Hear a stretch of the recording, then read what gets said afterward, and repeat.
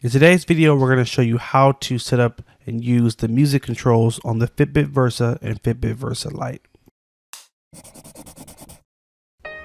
Alright, so the first thing you'll want to do is you'll want to go to your settings app on the Fitbit.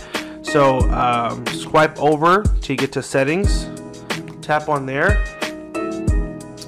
and what you're going to do is swipe down to Bluetooth connection options.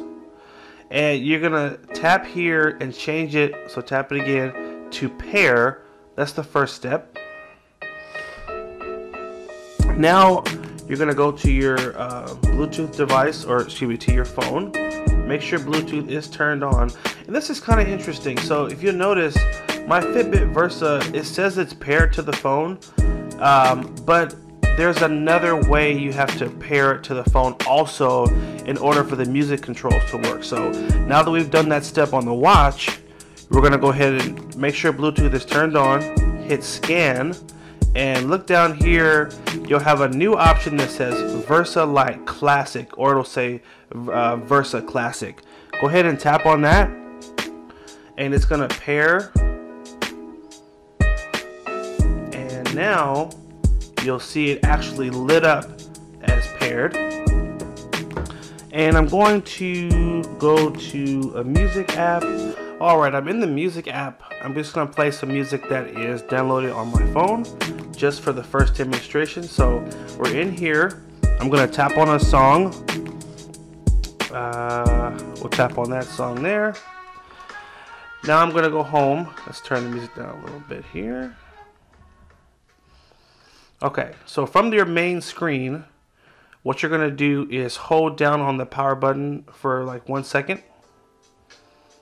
And then it'll take us right to our music controls. As you can see, um, this is the song that's playing. And I can pause it, unpause it. I can advance, go back, and I can even control the volume as well right from the watch. Now this also works as well if you do have Bluetooth headphones that you can control the tracks and the volume right from your watch as long as they're paired to the phone. So you pair your Bluetooth headphones to your phone, make sure your watch is also paired, and that's it. Hey, I did also test out the music controls with Pandora and with Google Music, and it did work uh, flawlessly the same way it did with music that was on my phone. So it should work with just about any music app. One more thing, uh, sometimes people will play music from different apps.